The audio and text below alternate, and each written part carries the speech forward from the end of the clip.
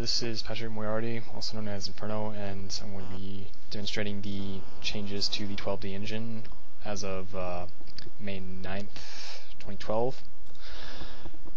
In this video I'm just going to go over the things that I've put in the engine and basically the current state of the engine as I am going to be demonstrating it for uh, portfolio purposes.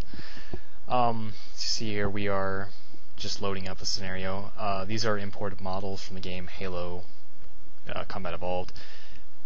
Eh, they're just placeholders for the time being, so that I can test, you know, how the game engine runs with different models and binary structure planes, etc.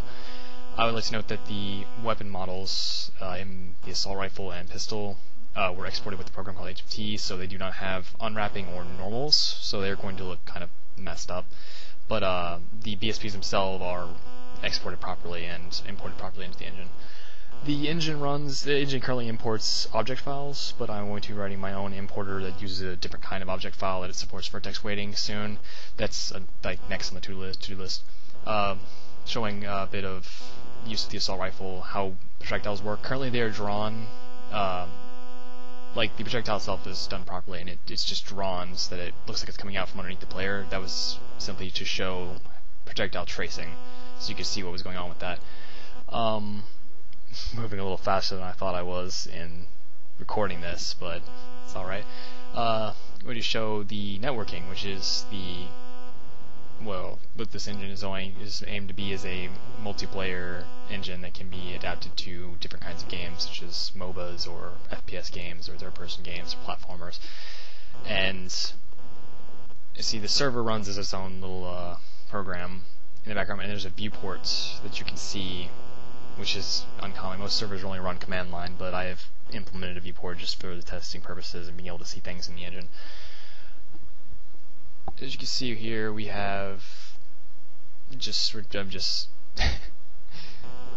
setting up a second um, client. So I'm running two clients on the same machine to join the server and show how it works. I was originally going to actually have a server and test with some people online, but due to problems with my ISP here at my apartment, I cannot host servers, and I was not able to find someone in a reasonable time frame to basically host a server for me and have the test go on. So I am still using a localhost test, which works fine, but it does not show uh, ping and um, lag compensation are not really. Yeah, I can't really test that with just a localhost, so I'm still looking for a time to do uh, online testing. Hopefully that will be soon. Uh, anyways, uh, going back into this, unload, when you load into the server currently, uh, everyone is in a free cam mode basically. They can just fly around wherever the hell they want. See, we have a chat window. You can open up. You can talk to people. It sends messages based on what's going on in the game. People join. People leave. People get timed out. Um, people die. Kill each other. It's all shown in the chat. This is you know pretty standard stuff. But all these uh, these are a lot of like very core features that have to be in the engine before I can actually progress and start working on a real game. Just showing some chat messages sent back and forth. I mean, another thing like uh, there's a shadow bug in the background. I haven't finished shaders and I have not finished lighting. These are I feel like these are visual things should be focused on after I have the core core mechanics of the engine running all together. And uh, typing into the server right now to spawn all the players. So all the players are now spawned into the game. They can do what they want. Uh, you see, have the two weapons. These are just testing weapons, like I said.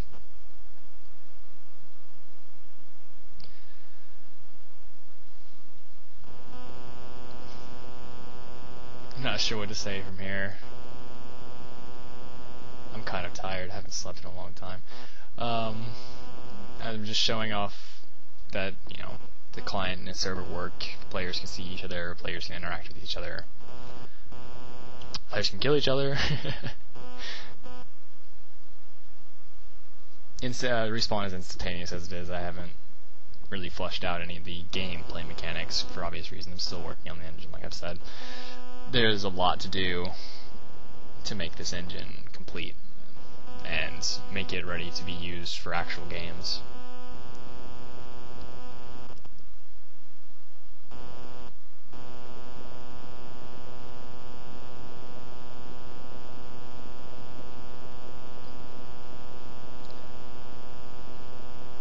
Overall, though, uh, with the current state of the engine, the major goals that I'm looking to finish, and I, I, was hoping to finish a lot of these things before I was setting up portfolio but um, I you know time restrictions, things, school is ending this semester, and it's still just showing me killing myself technically, but uh, major things with the engine. I hope to implement vertex weighting and the new object, like I'm going to create my own version of OBJ waveform objects to use for the engine because I actually really like the structure of the OBJ. It's it's can be built in one pass, so I don't have to like search through a file to create an object. I can just go straight through it, read it in, create the object, all done. I'm going to add shader shaders because currently I'm just drawing textures to triangles. I'm not shading them, and that's why everything's like drawn diffuse flat almost in terms of lighting and specular. I hope to improve the networking. There are lots of things I can do better to improve uh, performance online, and additionally, I obviously need to improve the HUD. Like uh, as you can see, FP models and stuff are just drawn very sim simply, and yeah, I mean, once I have HUD and all that stuff all together, I think at that point I'll just be improving and optimizing physics because as it stands, my physics calculations are a bit slow.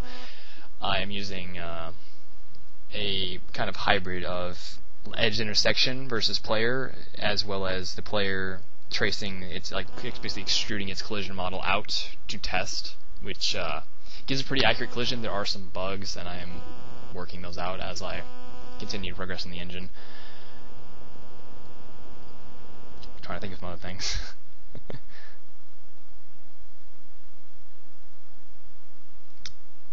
I just, uh, I am very bad at.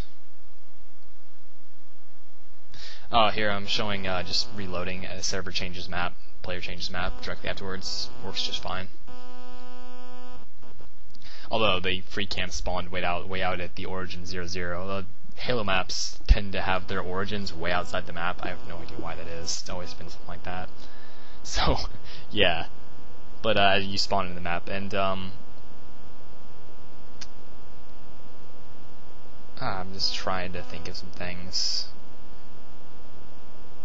Yeah, I hope to add uh, support for projectile, uh, non-hit scan projectiles as a stand. All there is hit scan, but that's just that's pretty simple to implement overall. I already have all the point physics systems in place to create, you know, grenades and Spinfusor disks, whatever I feel like. And I mean, a lot of the structure is already in place. Just a lot of things I need to finish up and polish up as they are. Uh, that'll be the end of this demo for today, and uh, thank you for watching.